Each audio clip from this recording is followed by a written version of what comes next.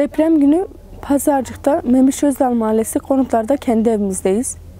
Hani uyandığımda her yer sallanıyordu zaten direkt çocuklara koştum. Biri 4 yaşında o uyandı zaten kendi yürüdü. Biri 2 yaşında bir de 9 aylık kızımı ben kucakladım. Ben uyandığımda benim kızımın üzerine petek düşmüştü. Hani dedim aşağı indirelim bir çocukları hastaneye götürelim biraz hava aydınlansın. O an bir kara bulut var ki saat dört buçukta falan artık aşağı indik. Arabalarda oturmaya başladık. Saat sabahın 9'u ya da 9.30'da hastaneye gittik. Pazarcık Hastanesi'ne. Benim kızımın üzerine dedim petek düştü bir bakar mısınız yani. Korkuyla gittim ki çok korktum bir şey olacak diye. Benim kızımın sadece yüzüne böyle uzaktan bakıp kızın iyi bir şey yok dediler. Ben o anki durumda hiç düşünemedim yani kızımın öleceğini. İkinci ayın altında bizi gönderdiler hastaneden. Biz köye gittik. Köyde kaldık. 2-3 gün baya benim kızım iyiydi yani oturuyordu, kalkıyordu. Çok güzeldi. Üçüncü gün ikinci ayın dokuzunda ben kızımın mamasını verdim. Kızım oynadı, uyuttum.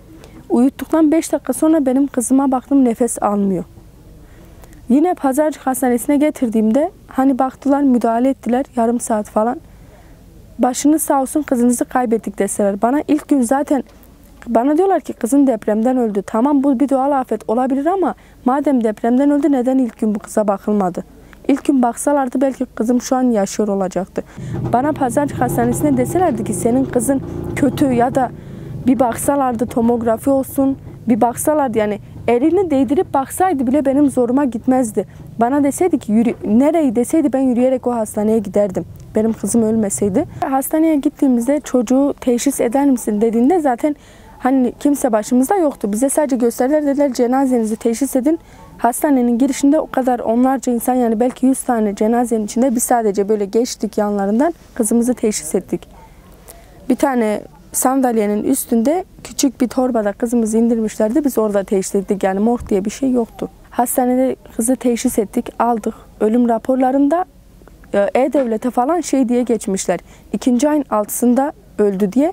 Benim kızım ikinci ayın altısında ölmedi, ikinci ayın dokuzunda öldü.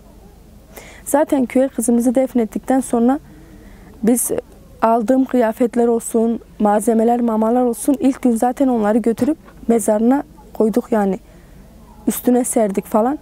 O gün bugündür çadır kente geldik.